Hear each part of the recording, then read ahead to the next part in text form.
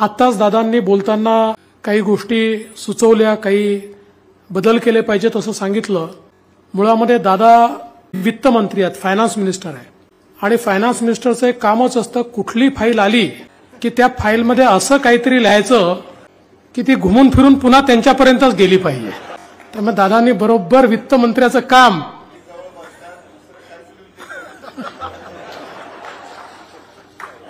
नाही तुमचाच कित्ता गिरवता गिरवता मलाही त्याच्यामध्ये एक गोष्ट सापडली की त्यातलं जे एकोणतीसावं प्रकरण आहे ते मी वाचत होतो तर त्याच्यात शिंदे साहेबांची जी घोषणा पत्रकार परिषदेत मी केली होती की आम्ही असं असं दिलेलं आहे तर ती आपण राजभवनाला केली होती ती सागर बंगल्यावर आली आहे. तर आता दुसऱ्या आवृत्तीमध्ये ते पण आपण बदल करून टाकू. आणि ती राजभवनावर झाली होती. आणि दादा मगाशी असं म्हणाले की ते आमच्यापेक्षा सिनियर आहेत आणि तेच मागे राहून गेले. पण दादा तुम्ही आणि मी जो रेकॉर्ड केलाय तो कोणी तोडूच शकत नाही. म्हणजे अठ्ठेचाळीस बहात्तर तहाचा रेकॉर्ड तर आपला आहेच. पण त्याहीपेक्षा मी असा मुख्यमंत्री झालो की जो एकाच टर्ममध्ये मुख्यमंत्री झाला विरोधी पक्षनेताही झाला आणि उपमुख्यमंत्री झाला. आणि तुम्ही एकाच टर्ममध्ये उपमुख्यमंत्री झालात परत विरोधी पक्षनेते झालात आणि परत उपमुख्यमंत्री झालात.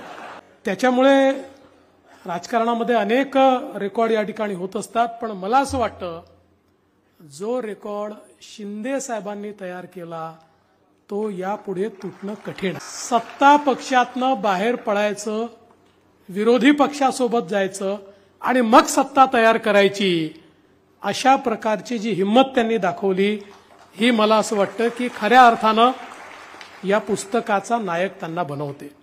शिंदे साहेबांसोबत अनेक वेगवेगळ्या कॅपॅसिटीमध्ये मला काम करता आलं. आम्ही आधी सहकारी म्हणून काम केलं. मग मी मुख्यमंत्री आणि ते विरोधी पक्षनेता असं काम केलं. मग मी मुख्यमंत्री आणि ते मंत्री असं काम केलं.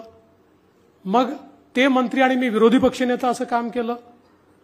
मग ते मुख्यमंत्री आणि मी विरोधी मी उपमुख्यमंत्री असं आता आम्ही काम करतो या ठिकाणी पदं कुठली असतील तरी इतके वर्ष आमचे संबंध मात्र नेहमी सारखे राहिले. पहिल्या दिवशीपासनं जी काही आमची मैत्री त्या ठिकाणी तयार झाली पहिल्या दिवशीपासनं जो काही एकमेकांवरचा विश्वास हा निर्माण झाला त्यातून मला असं वाटतं की वेगवेगळ्या कॅपॅसिटीत काम करतानाही आमचा तोच विश्वास एकमेकावर कायम राहिला. आणि म्हणूनच ज्यावेळी असं लक्षात आलं की आता राज्यामध्ये हिंदू हृदय सम्राट शिवसेना प्रमुख बाळासाहेब ठाकरेंचं हिंदुत्व हे संपवण्याचा प्रयत्न होतोय. त्यावेळी वेगवेगळ्या बाकांवर असलेले आम्ही एकत्रित आलो आणि त्या ठिकाणी सरकार तयार झालं आणि ते सरकार इतकं प्रभावी झालं की काही दिवसात आमच्या मॅग्नेटनी अजितदादांना ओढून घेतलं आणि या ठिकाणी आमच्या तिघांचं सरकार स्थापन झालं. खरं तर एक अतिशय खडतर आयुष्य जगत. म्हणजे पुस्तकात आपल्या लक्षात येतं की पहिल्यांदा मुंबईला आल्यानंतर त्यांचे वडील संभाजीराव आणि आई गंगूताई या वाळकेश्वरमध्येच राहायच्या. त्यावेळेस कदाचित कोणाला हे माहिती नसेल की छोट्याशा वाळकेश्वरच्या घरात राहणारे किंवा त्या भागात राहणारे त्यांचाच मुलगा एक दिवस त्याच वाळकेश्वरमध्ये वर्षा बंगल्यावर राहायला जाईल. असं त्यावेळी कोणाला वाटलं नव्हतं. पण त्यातनं त्यांनी जे संस्कार दिले त्यांनी ज्या प्रकारे एकनाथरावांना घडवलं आणि त्यातून मला असं वाटतं की त्यांचं व्यक्तिमत्व हे घडत गेलं. हे खरं आहे की नंतर ते राष्ट्रीय स्वयंसेवक संघाच्या संपर्कात आले आनंद दिघे साहेबांच्या संपर्कात आले बाळासाहेब ठाकरेंच्या श्रद्धे बाळासाहेब ठाकरेंच्या संपर्कात आले. पण ज्या प्रकारे स्वर्गीय आनंद दिघेजींनी त्यांच्या आयुष्याला वळण दिलं. आणि विशेषतः जीवनातला जो सगळ्यात वाईट प्रसंग येऊ शकतो कुठल्या व्यक्तीवर तो त्यांच्यावर आल्यानंतर त्या प्रसंगातनं बाहेर काढून तुला स्वतःपुरतं नाही समाजाकरता जगायचं आहे. त्यामुळे या प्रसंगातनं तुला बाहेर यावं लागेल.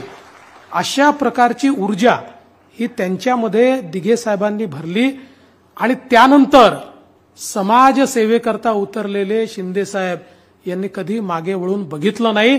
सातत्याने समाजाची सेवा करत करत पुढे जात राहिले. आपल्या जीवनामध्ये पडेल ते काम केलं आवश्यकता पडली तर ऑटो रिक्षा देखील चालवला पण हे सगळं करत असताना जे जाज्वल्य हिंदुत्व होतं मराठी माणसाकरता लढण्याची जी एक वृत्ती जो एक बाणा शिवसेना प्रमुख बाळासाहेब ठाकरेंनी तयार केला होता.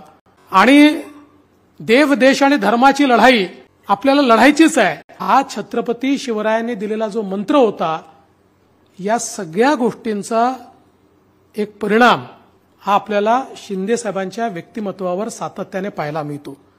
आणि म्हणूनच मगाशी जसं दादा म्हणाले पीपल्स मॅन लोकांमध्ये राहणारा व्यक्ती. अशा प्रकारचं शिंदे साहेबांचं व्यक्तिमत्व आहे. आणि त्यांच्याकडनं सगळ्यात जास्त शिकण्यालायक काही असेल तर त्यांचा पेशन्स आहे. त्यांच्याकडे प्रचंड पेशन्स आहे. शांतपणे तास दोन तास तीन तास चार तास ते बसू शकतात ऐकून घेऊ शकतात. अर्थात ज्यावेळेस त्यांचा पेशन्स संपतो त्यावेळेस मात्र ते कोणाचंच ऐकत नाही. हे देखील तेवढंच खरं आहे. पण मला असं वाटतं की हा जो काही पेशन्स आहे हा खऱ्या अर्थानं in politics patience is a virtue लोकांचं ऐकून घेणं हे जोपर्यंत आपल्याला जमतं तोपर्यंतच आपण लोकांचे नेते राहतो. ज्या क्षणी लोकांच्या बोलण्याचा राग यायला लागतो लोकांच्या बोलण्यावर आपण रिॲक्ट व्हायला लागतो ज्या क्षणी तुम्हाला काय समजतं अशा प्रकारच्या ॲटिट्यूडमध्ये आपण जातो. त्या क्षणी आपला ऱ्हास होणं सुरू होतं. आज मुख्यमंत्री झाल्यानंतर देखील शांतपणे लोकांचं ऐकून घेण्याची प्रवृत्ती आणि अनेक वेळा कोणी आलं तरी त्याच्या पत्रावर एक सही करून किमान त्याला समाधान मिळालं पाहिजे की बाबा माझं काम पुढे चाललेलं आहे. अशा प्रकारची जी काही एक वृत्ती त्यांच्यामध्ये आहे. आणि म्हणूनच मला असं वाटतं की लोक त्यांच्याशी जुळत जातात आणि एक प्रकारे हे नेतृत्व पुढे पुढे चाललेलं आपल्याला पाहायला मिळतं. वेगवेगळ्या पदांवर काम करत असताना त्या त्या पदाला न्याय देण्याचा त्यांचा प्रयत्न असतो. आणि त्याच्याकरता वाटेल ती मेहनत ही करण्याची खऱ्या अर्थानं त्यांची तयारी ही अत्यंत महत्वाची आहे. कुठल्याही गोष्टीला ते कधी हलक्यात घेत नाहीत तर आपण मेहनतीनं पुढे जाऊ शकतोय त्यांना माहिती आहे. त्यामुळे कुठल्याही प्रकारची मेहनत ही ते घेतात. आणि आपल्यापैकी अनेकांना ठाणेकरांना तर माहितीच आहे की शिंदे साहेबांना ते कधी झोपतात कधी उठतात कधी जेवतात हे कोणालाच माहिती नाही. वहिनींनाच फक्त कदाचित ते माहिती असेल किंवा कदाचित त्यांनाही माहिती असेल की नाही माहीत नाही कारण अनेक वेळा घरी नसतातच. अशा प्रकारे जनतेत राहून जनतेचं काम करणं